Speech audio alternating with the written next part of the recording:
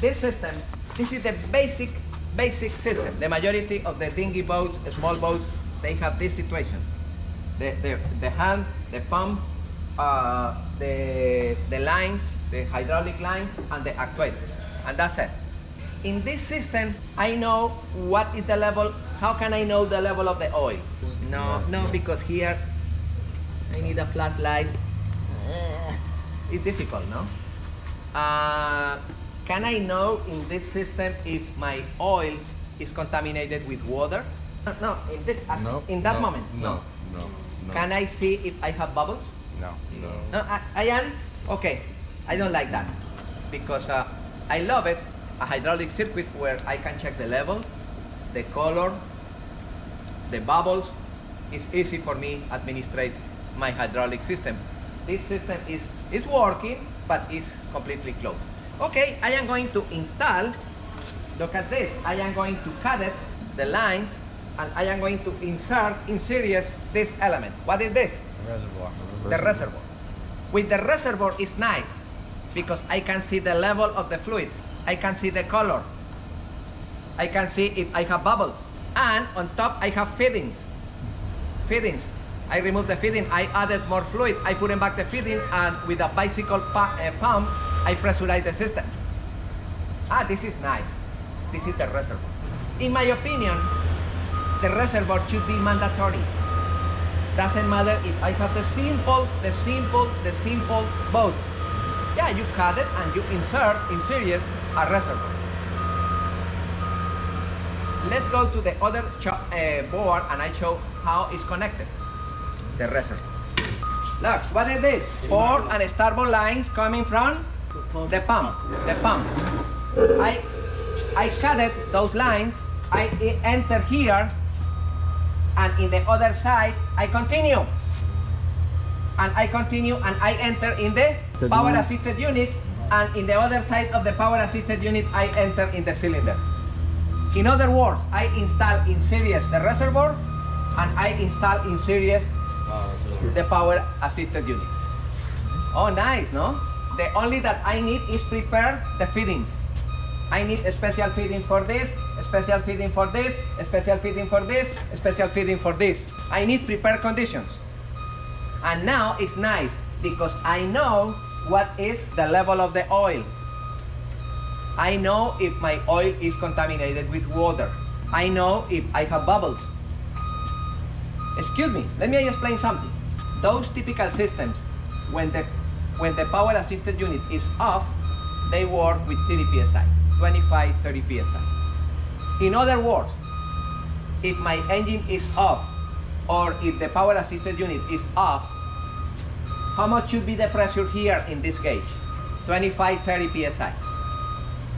Excuse me, when, with my engine off and the power assisted unit off, can I move the wheel?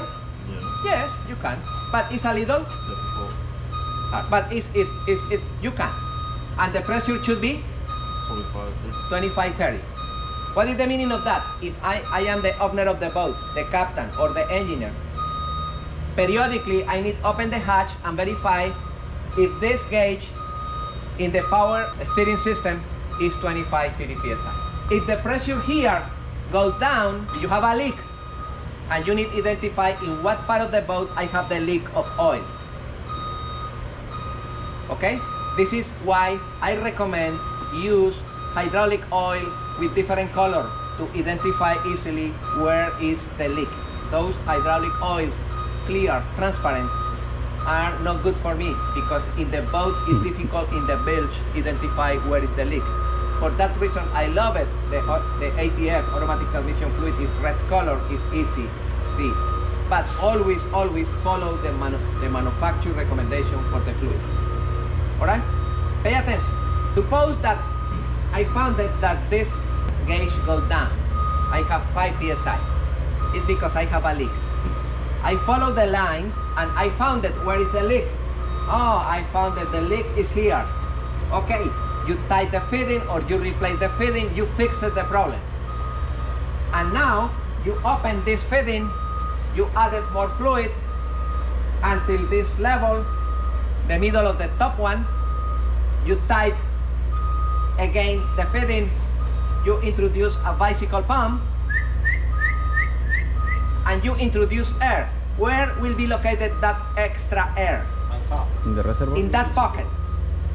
Oh, Mr. Lopez, if you introduce air, you introduce air in the fluid, and now the fluid have bubbles. Nope. No, the, flu- the air will be here. Pay attention. When I move it, the wheel in both directions, the, the fluid goes over there, extend the cylinder, retract the cylinder, tartan, and return here. Each time that the fluid pass through this container, the, the bubbles in the fluid goes Up. here. All the air will be concentrated here. And it's nice because you can, you normally the, the, the fluid should be in the middle of the second mirror. The second the second uh, window, sorry. That's clear, guys? Okay, if my if my oil is here, it's because I have a leak of oil. And of course the pressure decrease. What is the function of this air feeding? Pressurized. keep the pressure keep the pressure 25 30 how? This is why in the majority of the transom of the boat you have a bicycle pump over there is to keep the pressure of this. Yeah 25 you tight and finito. Ready? Ah of course when when this pump start, the pressure increase, but when this pump stop, the pressure decrease again. And the, the pump, the system at rest should be 25, 30 psi. What is the, no inconvenience, what is uh, the problem with in hydraulic circuits uh, in terms of uh, service and maintenance, in terms of operation? Is is because uh, when the when the fluid is working, passing through the pump, passing through the uh, oil con- uh, reservoir and returning and then what happened with the temperature of the fluid? Increase. Increase dramatic, dramatic, dramatic. That's why you use the heat exchanger to cool it. Correct. For that reason, uh, you need you need to reduce the temperature of that oil with heat exchangers. Now we, I am going to explain that. Uh, this is the inconvenience. For example, you know in your car, uh, the, the most complete hydraulic element that you have in your car is the, the transmission, the automatic transmission. The automatic transmission is fully hydraulic. It's, it's, a, it's a robot, it's intelligent. This is, in my opinion, in the course of transmission, I'm going to explain that transmission in details. That transmission is, in my opinion, the invention of the previous century. That, that, that invention, the hydraulic transmission, the automatic transmission, changed the life of the people completely. You remember the cars, only manual, manual transmission, and after the invention of the automatic transmission, the life was completely different. And the use of hydraulic uh, system changed the life of the people. Uh, I was talking about the travel lift, no? The travel lift is a perfect hydraulic equipment. You have a diesel engine in the travel lift with a big, big hydraulic pump and some actuators. And those actuators operate and lift the boat outside. You, you move boats of 100 tons, 120 tons with only actuators. Uh, that's incredible, no? How many times you multiply the, the fluid, the pressure of the fluid, the torque, but of course the temperature. This is why when the fluid pass through the circuit and return uh, into the container in the reservoir, before the fluid return to the reservoir container, uh, the fluid pass for a heat exchanger. Uh, this is a typical heat exchanger. Look at this. In this particular case, this is a marine heat exchanger. The fluid enter here, circulate for a serpentine, and return here. And the salt water pass here, and what happened with the pipes with the oil? Cool. Cool. Cool. And the oil here have less temperature. That's simple. This is this is a typical heat exchanger. How many heat exchangers?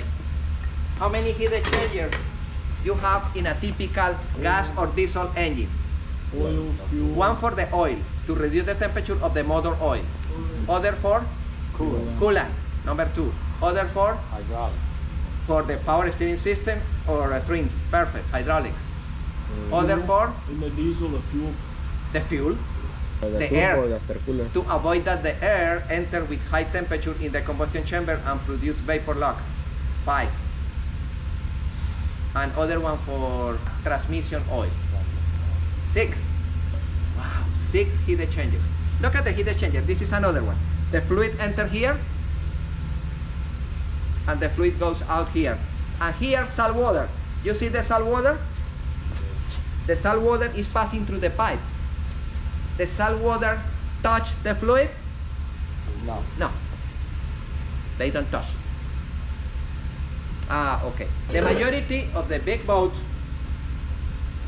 heavy more than uh, 35 feet, they have one heat exchanger in series to reduce the temperature of the fluid in series of the system. That heat exchanger, the raw water pass here, normally is connected with one of the engines. Yeah, using the raw water pump of one of the engines or one of the generators. Everybody follow me? Always, always, always, always, always, if you have hydraulic circuits, you need heat exchange. Later, in the next coming class, in an auxiliary system, we are going to talk hydraulic systems in details. And uh, we are going to, to install different hydraulic systems for trim tabs, for uh, different actuators. Some bow thrusters are hydraulics. The motor of the bow thruster is not electrical, it's hydraulic. When you have a big boat, a mega yacht, with uh, 10, 12, 15 hydraulic, different hydraulic circuits, you have a probably a central hydraulic unit with a big reservoir, with a big motor, and uh, with different group of servo valves, organized servo valve with solenoid. And you see, oh, the first one is for trim tabs. The second one for the actuator of the pasarela. The number three for in your boat you have that one. For example, he is the engineer. I am the captain, and I have problem with the, the trim tabs. The trim tabs go down but no return. I call, hey Raul, please, uh, uh, the trim tabs no return, go down. And Raul go into the servo valve, remove the solenoids, bring power directly over there. Hey captain, it's going down. Yes, it's going down. Let me put power here. It's going up. Yes, it's going up. Ah, okay, yeah. He found the problem. You remember? How I explained in the transmission exactly the same. Yeah, when you have that group of this is the central hydraulic unit. I'm going to explain how to incorporate all the different hydraulic systems that you have in your boat in one central hydraulic unit. And I am going to explain how to calculate the capacity of the motor for that central hydraulic unit and the capacity of the container for the oil. Good? This is nice. Okay guys, what is this? This is the rudder sensor. Rudder sensor. Look, if the rudder is moving like this, the rudder sensor, that sensor indicates what is the position of the of the rudder. That's important because the, the, the, the computer needs that position to compensate. No? This is the, in my opinion, the most critical sensor, the rudder sensor. Normally is is located with a with a with a threaded with a threaded ball here to adjust. This and this should be perfectly parallel. Parallel. Yeah? Both of them. Pay attention. When you install the system, when you install the system and you turn on for the first time the autopilot system, the autopilot system says synchronization and you need press the option yes. Yes, and the the computer synchronize and recognize this position like the zero position. You need put the boat, the rudder in, in straight. And you need enter, start the system and press synchronization. And the system now is synchronized with this position will be zero. After that, if you are moved like this, it's seven degrees, no, uh, uh, right side or seven degrees, yeah. But this is zero. Before you start to introduce your first coordinate, you need synchronize the system. Okay, what happened if somebody, if somebody working in the helm, uh, sorry, working in the transom of the boat with this, remove, remove that link, or or bend it, the link. You mm-hmm. need to replace the link and, And synchronize synchronize. again. Everybody follow me? Mm-hmm. And this one, this one, they have the colors mm-hmm. and they are located here. Brother, you see? Brother. What is the recommendation before you introduce those wires? Solder. Soldering. Finito. That's the rudder sensor. The same with the compass. Soldering the ends before you introduce. This one, the hidden, have direct connection to NMEA back. the backbone. Ah, what is the meaning of that? Those sensors are 183. And this one is 2000. 2000.